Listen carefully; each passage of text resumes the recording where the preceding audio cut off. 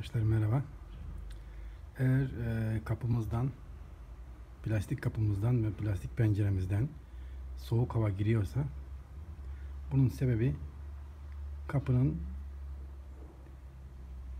e, iyi kapanmamasıdır. Bu iki sebeple olur. Bir, bu demirler. Bu demirlerin eğer bu e, dilleri, biz buna dil deriz. Bu demir dil kırıldıysa bu demirin değişmesi gerekiyor. Çünkü burada gelen kapının öbür demir dili buraya geçer ve kapı sıkı kapanır. Şimdi size göstereceğim.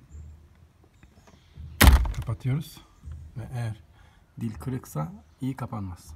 Bakın kırık olan yer kapının kırık olan yeri açık ve sağlam olan yeri sıkı kapalı.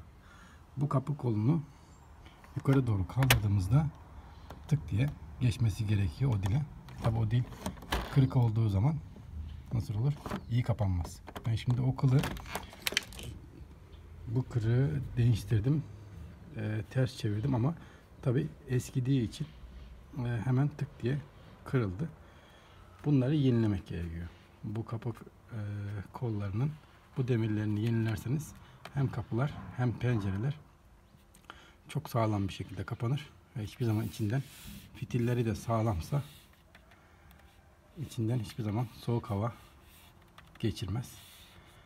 Daha e, verimli olur. Onun için bu diller çok önemlidir. Bu dillere her zaman dikkat edeceğiz. Teşekkürler.